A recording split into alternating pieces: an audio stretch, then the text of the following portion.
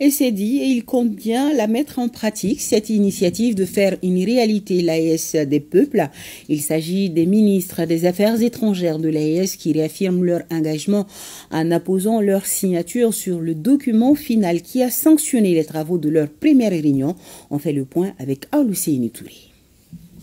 Les ministres en charge des Affaires étrangères de la Confédération des États du Sahel ont au cours de leur réunion, la première du genre de la Confédération fait le point des progrès réalisés notamment en matière de diplomatie. Il résulte de cette évaluation qu'une parfaite coordination s'est établie dans le domaine diplomatique. La création de la Confédération des États du Sahel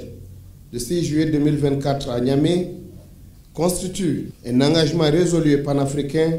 des plus hautes autorités des trois pays pour l'atteinte de leurs objectifs d'intégration socio-économique et de prospérité partagée dans l'espace AES. Les ministres ont salué les annonces fortes de son Excellence le colonel Assimi Goïta, président de la Confédération au peuple de l'AES à l'occasion de l'an 1 de la charte du Liptako Gourma. Dans cette perspective, les ministres ont réitéré leur engagement à prendre toutes les dispositions et mesures utiles pour la mise en œuvre des décisions et conclusions du sommet de Niamey et réaffirmer la portée symbolique et politique de cette évolution majeure dans le parcours des trois pays vers une intégration continue pour, à terme, parvenir à une fédération réunissant le Burkina, le Mali et le Niger. Les ministres ont également saisi cette occasion pour condamner fermement l'intervention désormais assumée de certains sponsors étatiques étrangers qui abritent,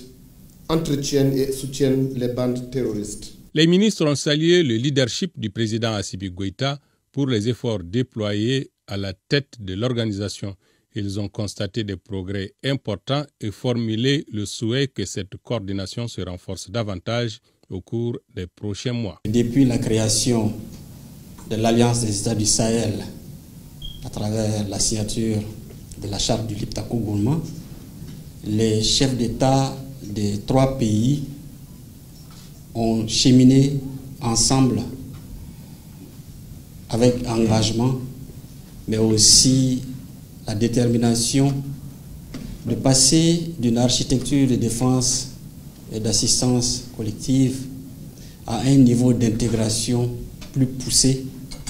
et qui a été acté le 6 juillet dernier à Niamey et qui a créé la Confédération des États du Sahel. En signant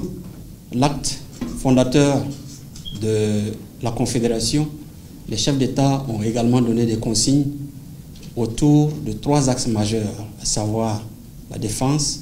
la diplomatie et le développement, qui devront connaître des actions évidentes dans le cadre de notre parcours vers une réelle souveraineté et vers un développement pour tous les Sahéliens. La Confédération des États du Sahel évolue désormais vers de nouveaux rivages, des rivages qui se veulent promoteurs au regard des efforts et des progrès accomplis.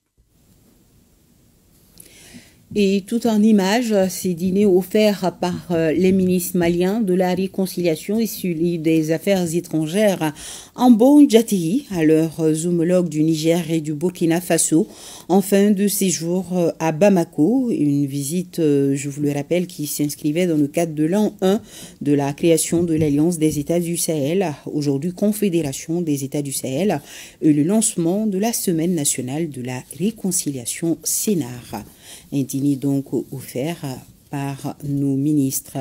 de la réconciliation et celui des affaires étrangères, avec bien sûr des remises de cadeaux en bon jetigui malien.